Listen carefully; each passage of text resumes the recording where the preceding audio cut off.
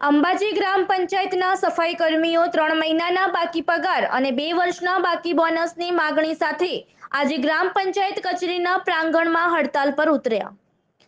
જો કોઈ નિર્ણય લેવામાં નહીં આવે તો ભૂખ હડતાલની ચીમકી. પંચાયતના વહીવટ પર પ્રશ્નાર્થ. દેશ જ્યારે કોરોના વોરિયર્સ તરીકે સન્માનિત કરી રહ્યો છે, ત્યારે અંબાજીમાં કોરોના વોરિયર્સને પગારના પણ ફાંફા કે અમારા ચડેલા પગારો વધતા અમને અગાઉની વર્ષની બોનસ અને ચાલુ વર્ષની બોનસ એમ બે વર્ષની બોનસ આપવી એવી માંગણીઓને લઈને અમે લિખિતમાં અરજી પણ આપેલી. તેમ છતાં અમારી યોગ્ય નિર્ણય નહોતો આવેલો. તે છતાં અમે અઠ્યાવીસ તારીખના દિવસે પાછી સેક્રેટરી સાહેબને એક અરજી આપી.